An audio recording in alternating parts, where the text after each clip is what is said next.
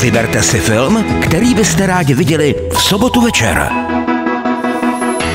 Poetický příběh z poválečného období vyprávěný dětskýma očima, komedii o italském mafiánovi, který pozná nástrahy nočního života v Praze, nebo kriminální drama, ve kterém loupežné přepadení odstartuje souboj bez pravidel.